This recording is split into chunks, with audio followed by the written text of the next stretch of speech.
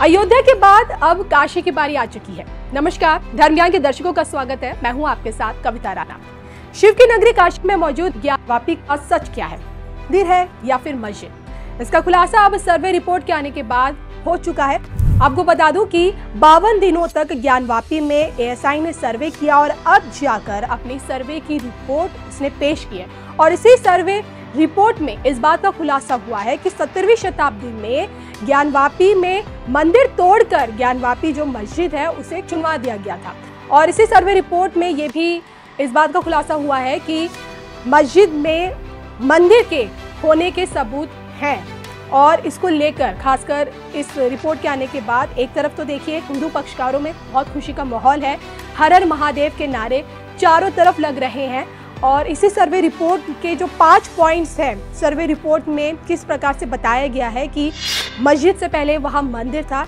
इसको लेकर जो एडवोकेट हैं, विष्णु जैन ने क्या कुछ कहा? अपने फाइव पॉइंट्स में उन्होंने पूरी पूरी पिक्चर क्लियर कर दी है कि आखिरकार कैसे मंदिर को मस्जिद बना दिया गया सत्तरवीं शताब्दी में।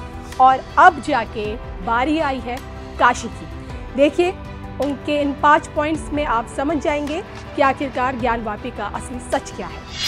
अब प्री एग्जिस्टिंग स्ट्रक्चर पे एएसआई ने डिटेल्ड फाइंडिंग दी है, वो मैं आपको पढ़ के बता रहा हूँ।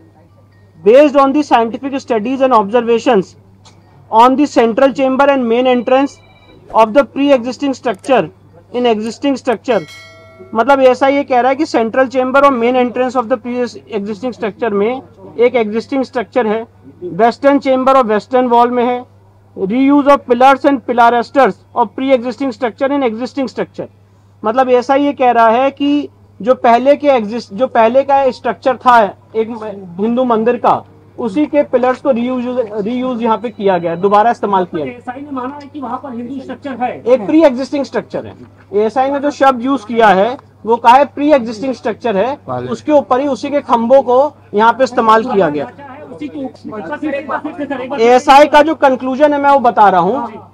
It can be said that मतलब ये कहा जा सकता है that there existed a large Hindu temple prior to the construction of the existing structure मतलब अभी जो स्ट्रक्चर है इस स्ट्रक्चर के पहले एक यहाँ पे लार्ज हिंदू टेंपल था ये बात एएसआई कह रही है कि ये बात कही जा सकती है। तो उसमें कुछ प्रमाण मिले हैं हिंदू हिंदू मंदिरों के बहुत प्रमाण मिले तो ये एएसआई का जो कंक्लूजन है वही अब उसके बाद सेंट्रल चेम्बर और जो मेन एंट्रेंस है उस पे जो एसआई का कंक्लूजन है वो मैं पढ़ के बता रहा हूँ।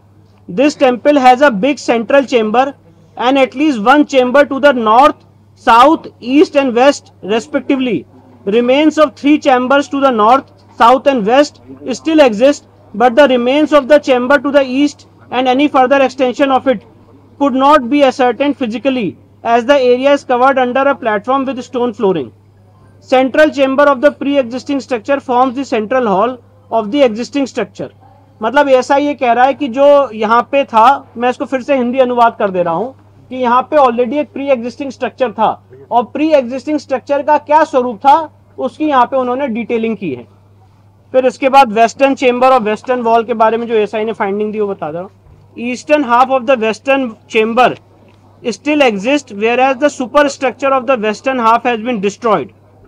This chamber was also connected with the north and south chambers through a corridor accessible from its north and south entrances respectively.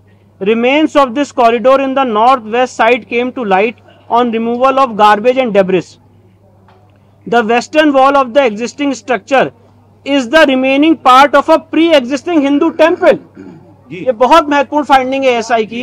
ASI ने कहा है कि जो पश्चिमी दीवार है इस तथाकथित मस्जिद की ये पार्ट है एक प्री एग्जिस्टिंग हिंदू मंदिर का। मतलब एएसआई ये कह रहा है कि जो पश्चिमी दीवार है ये पश्चिमी दीवार एक हिंदू मंदिर का पार्ट है। दिस बॉल पश्चिमी दीवार this wall made of stone and decorated with horizontal moldings is formed by remaining part of western chamber, western projections of the central chamber and western walls of the two chambers on its north and south. Central chamber attached to the wall exists unchanged whereas modifications have been made to the both side to both the side chambers. All these chambers had a opening in the all four directions. Decorated arc entrance of central north and south chambers towards west have been blocked.